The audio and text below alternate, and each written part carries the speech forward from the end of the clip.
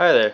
So recently my uh, laptop hard drive crapped out on me and uh, I, recently just got a new one right there and I'm going to show you guys how to uh, install it in the Acer Aspire laptop.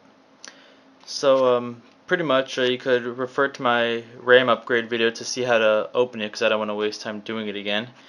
But when you're uh, at this point you have the cover off and make sure you have your little schematic with your screws on it so you don't lose track of screws what you want to do is um, we're going to remove this cable so we can have actual access to the hard drive.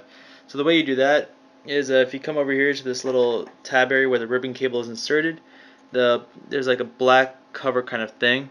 So you're going to grab both sides and you're going to kind of just lift the black tab up and that just comes off like that and uh, find a way to secure it away from your uh, working area.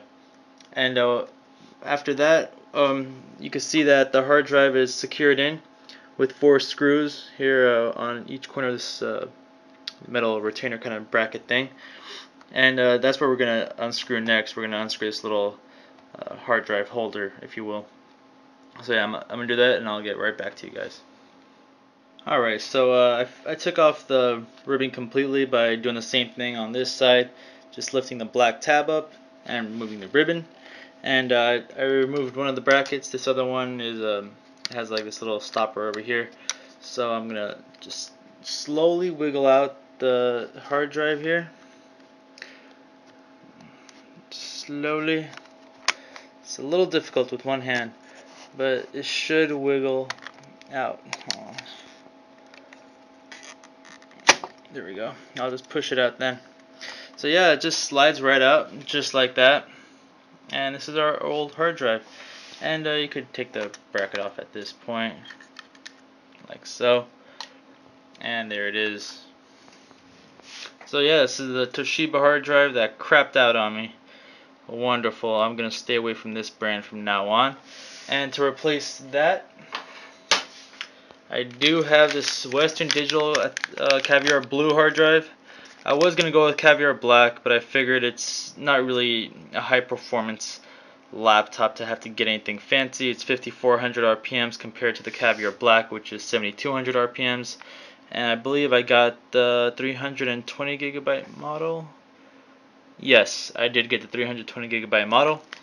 Um, like I said, it's just a basic use computer, nothing fancy. I don't need too much memory. So um, what I'm going to do with this, I'm going to unpackage it, of course and then you're just going to slide it back onto here. Uh, the ports are pretty self-explanatory. There's only one way it's going to fit in. So uh, let me get out of the packaging and I'll show you exactly how to do it. Alright, so here it is out of the packaging.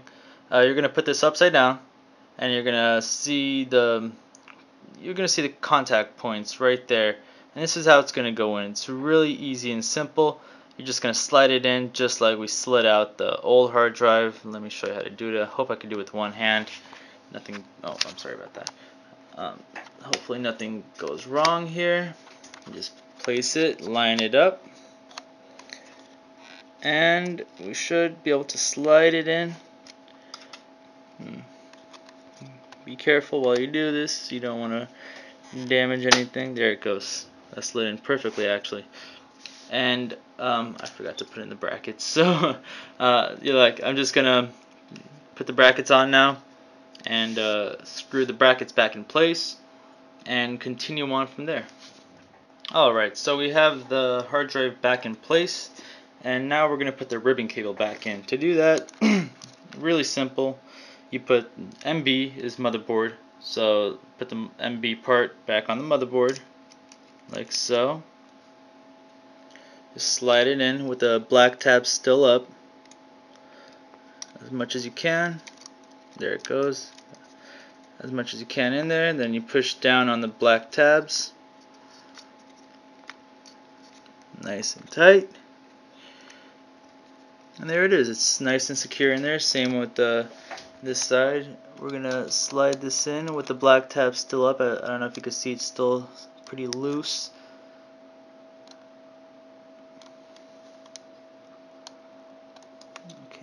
Make sure it really gets in there.